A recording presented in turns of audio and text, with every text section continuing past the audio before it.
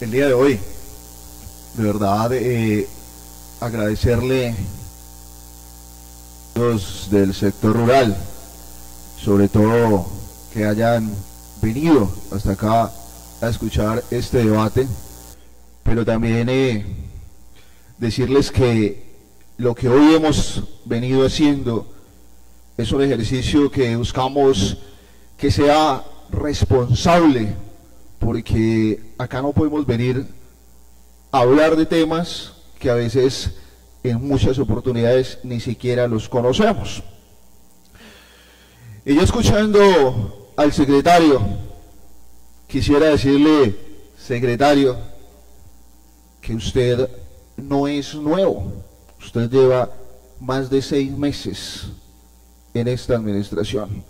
Por esta razón, me preocupa algo y es que ahorita en lo que vamos a nosotros a mostrar acá, hay dos temas puntuales en que usted ya los da por hecho y resulta que hay temas que todavía ni siquiera han tenido el avance que de pronto nosotros ya quisiéramos. Y mire, esto que nosotros vamos a presentar el día de hoy, nosotros lo pedimos como derecho de petición basado en el estatuto. Y todo lo que nosotros vamos a presentar acá no es un invento de nosotros ni del equipo que nos ayudó a hacer la presentación que vamos a hacer el día de hoy, sino todo está de acuerdo a la misma información que la Secretaría nos ha proporcionado. Y es que a mediados del año 2023 se suscribieron 101 convenios solidarios con las juntas de acción comunal para la construcción de la placa huella en la zona rural de nuestro municipio. Pero hoy, un año después, encontramos que esta administración, que es la continuidad de la anterior, le ha quedado grande sacar adelante este proceso. Y yo pienso que esto se convierte en algo inaudito, en algo mire, inadmisible que después de tanto tiempo, tan solo, y se lo digo acá hoy a los ibargreños, tan solo 13 juntas de acción comunal ya han recibido la totalidad de lo pactado, mientras que 10, 10 juntas aún ni siquiera han podido iniciar porque no les han desembolsado el anticipo. Mire, 18 juntas están aún pendientes por miren, pendientes por el segundo, segundo desembolso para poder cubrir los gastos de los materiales de mano de obra. Pero peor aún, y después de casi un año, tengamos 60 juntas de acción comunal que ya realizaron la construcción de sus placahuellas y aún esta administración no les haya pagado el tercer y último desembolso. Es que fue un acuerdo que hizo cada presidente llegaba allí a la secretaría y ustedes allí en la secretaría les dijeron, venga, avancen ustedes, que la secretaría después va cubriendo todo esto.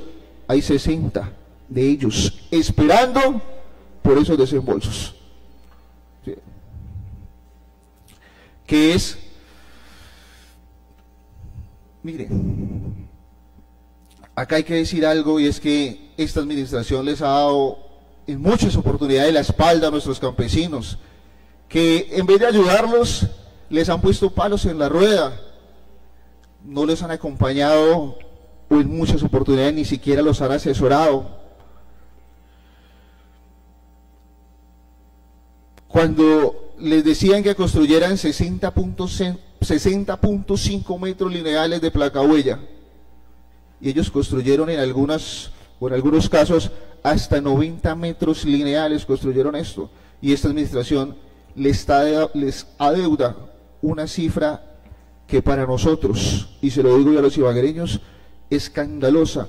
1.100 millones de pesos le está adeudando la administración municipal al campesinado del municipio de Ibagué. Esa es la cifra que le están debiendo y eso es lo que realmente deberíamos acá hablar con claridad cuando venimos acá a hacer este tipo de exposiciones. Entonces, por eso, si quiero hacer un llamado a que los entes de control para que pongan la lupa en esta problemática. Ahorita lo escuchábamos a usted hace un momento hablando sobre la maquinaria amarilla.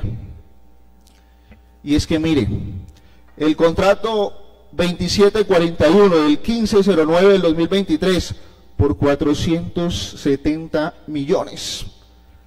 2024, convenio 1677 del 0905 2024 por 2.755 millones.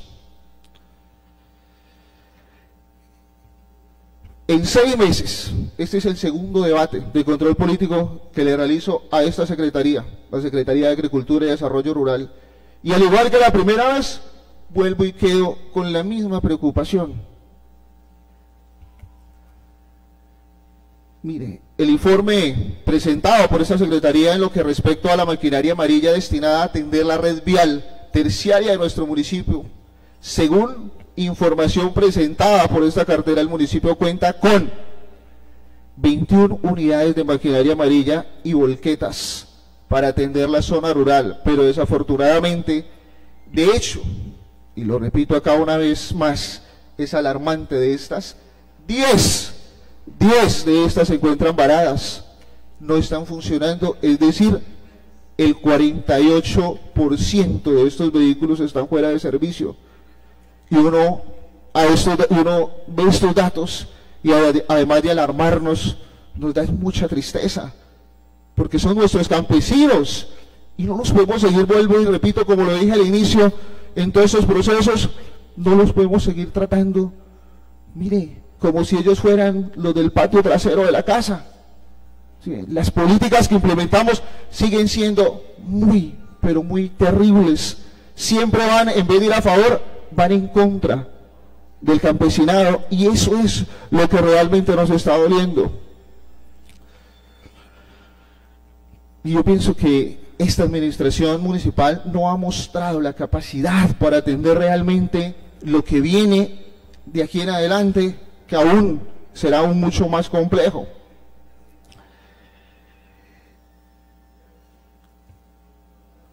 Y yo creo que la realidad para el tema de la maquinaria amarilla.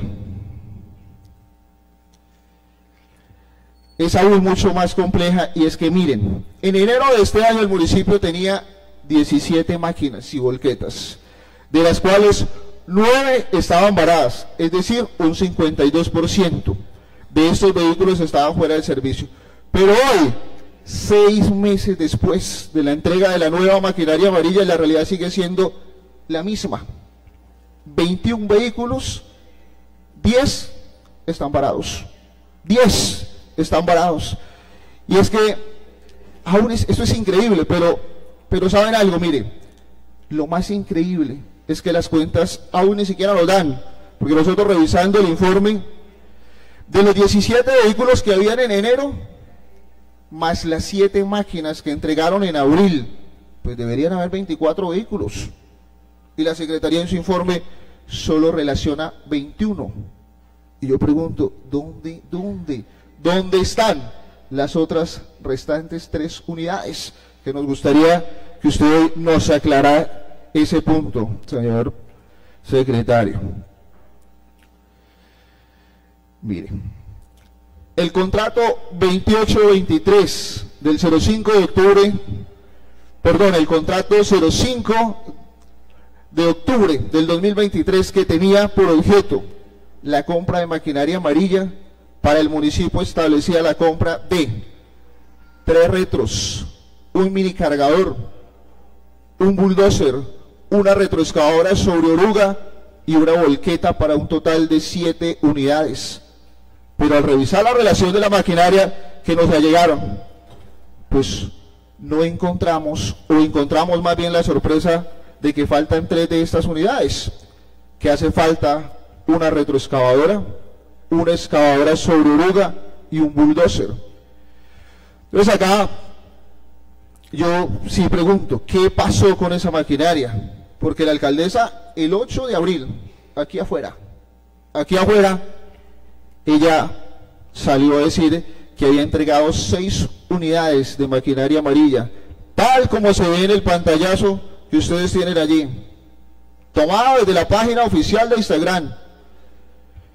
Entonces, yo me pregunto de acá, ¿por qué le mentimos a los ibaguereños? Es que yo siento que le siguen mintiendo, entonces venimos acá, nos paramos, damos un informe que a veces ni es. Y más, en un tema tan, pero tan sensible como lo es el campesinado del municipio. Entonces, se ve como si le estuviéramos mintiendo al campesino. Y eso es lo que nosotros tenemos que reclamar acá. Yo no quiero acá sentir o hacer sentir que es que estamos recontraatacando simplemente que porque somos oposición. No, yo acá estoy sentado en esta curul hablando como concejal del municipio de Ibagué que representa a los ibagueriños, pero que sobre todo hizo un trabajo en la zona rural y que por eso, por eso nos ha dolido y por eso estamos acá.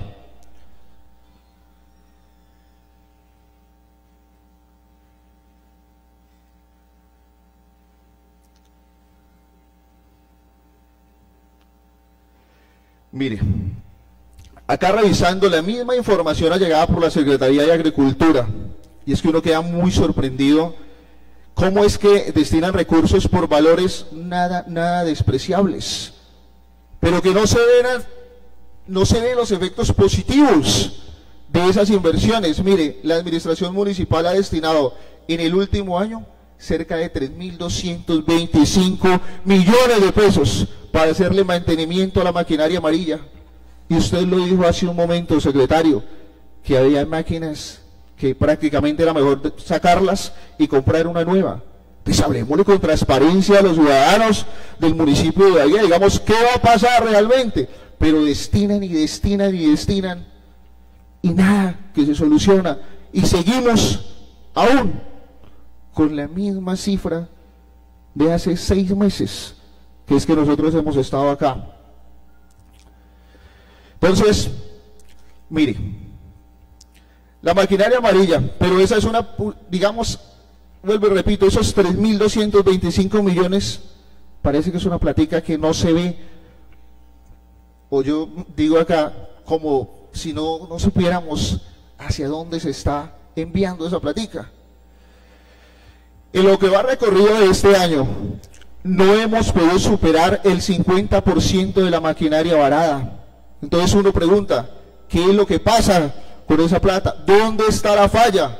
¿Será que no hay parte o será que de parte de la administración no hay una planeación real, algo preventivo para realizarle los mantenimientos a las máquinas? De verdad que es muy preocupante esta situación, porque miren, de las nueve máquinas que estaban varadas en el mes de enero, ocho de ellas, ocho de ellas siguen varadas.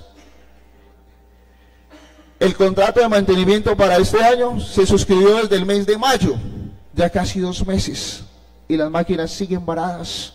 Entonces, díganos hoy la respuesta clara, ¿qué va a pasar con esa maquinaria varada para que el municipio, si cuenta con 21 o si son 24, pues que nos dejen claridad con cuántas máquinas amarillas, con cuántas volquetas contamos y de esa manera podamos dar una mejor respuesta frente a la problemática que tenemos de la ola invernal que está viviendo en estos momentos el municipio.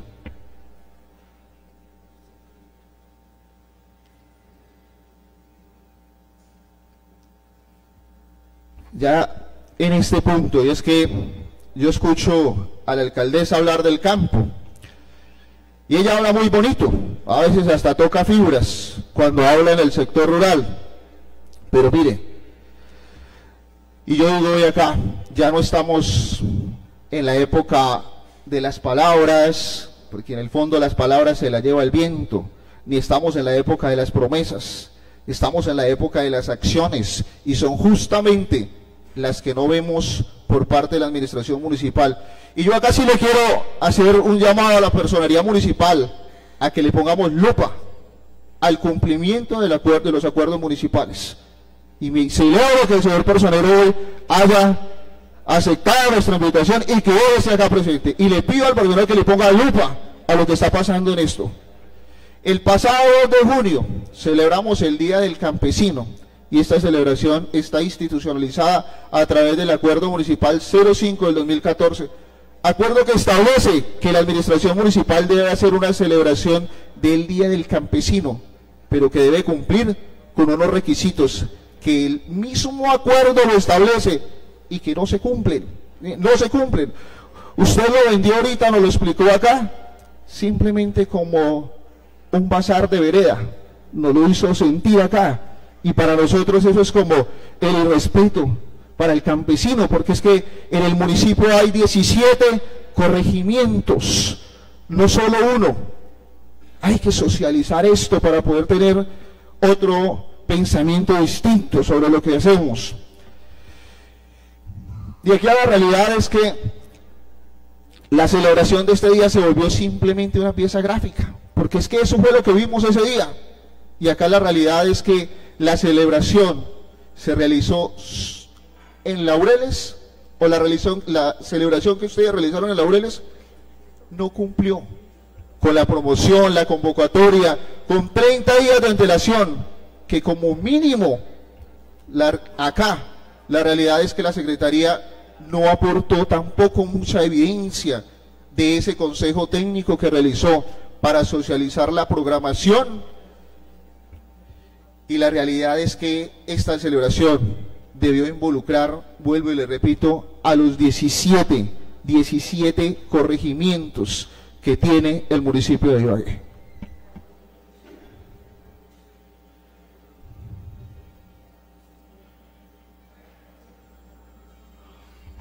Mire, en cuanto a la política pública, y es que cuando se estaba socializando el plan de desarrollo en este recinto, les pusimos a la administración municipal la importancia de que incluyera dentro de las metas la implementación de la política pública de desarrollo rural, pero tuvimos una respuesta negativa, no la incluyeron.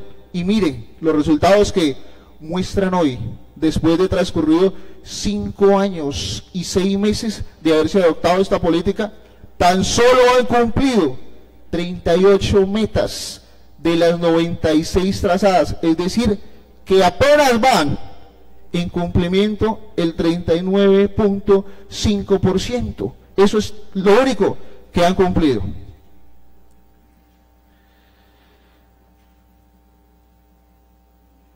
Y acá en cuanto a los proyectos productivos, yo creo que uno no puede hablar de lo que no, de lo que no existe, porque uno puede tratar o sentarse con un grupo de amigos para estructurar algo, pero hasta que realmente esto no esté firmado, hasta que eso no tenga un acta de inicio, yo creo que no puede uno ponerse a vender lo que no existe.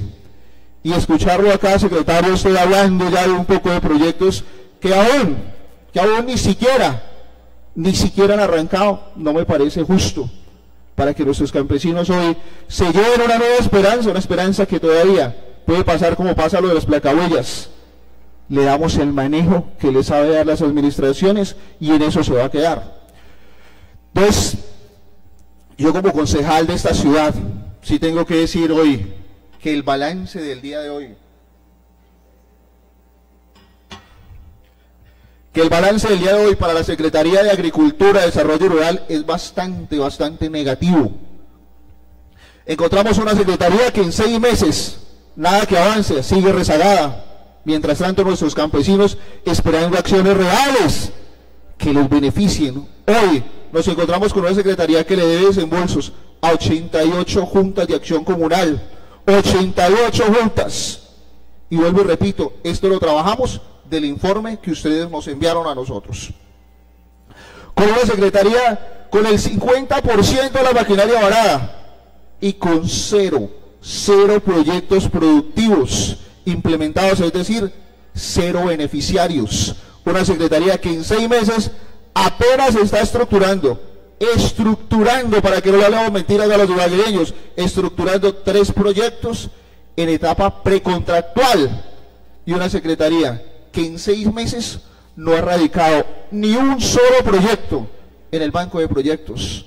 Esa es la realidad con respecto al tema de proyectos. Así que no vengamos hoy acá a vender lo que todavía no se ha logrado. Eso, se, eso puede cambiar. Mañana de pronto la señora alcaldesa toma otra decisión y ninguno de esos proyectos van. Pero si los vendimos hoy acá y si le vendemos al campesino una falsa esperanza, una nueva ilusión, como hemos hecho con muchos de esos proyectos que vendemos y como se hizo con los convenios solidarios, que para esa era la ilusión y la esperanza porque estábamos en campaña, pasó todo eso y empezamos, empezamos a demorarnos, empezamos a darle manejo a todo esto. Entonces yo sí quiero decirle, secretario, yo soy consciente de que usted está iniciando en esta secretaría como secretario en propiedad, pero no le salgamos hoy acá con que usted es nuevo, porque usted no es nuevo. Usted tiene conocimiento, usted bien lo dijo acá, su profesión lo lleva a entender la necesidad y la problemática del campo. Pero nuestra invitación es a que seamos concretos, muy concretos, pero sobre todo que le digamos siempre, siempre la verdad a nuestros campesinos y de verdad en esta, en, esta administración o en este Ibagué para todos, que tanto lo venden todo el tiempo, pues ese Ibagué para todos se convierta de verdad en una realidad para quienes viven y esperan que no les digamos mentiras, sino sobre todo en que ustedes sean la esperanza para ellos. Gracias, señor presidente. Tiene el uso de la palabra el honorable concejal Javier Mora.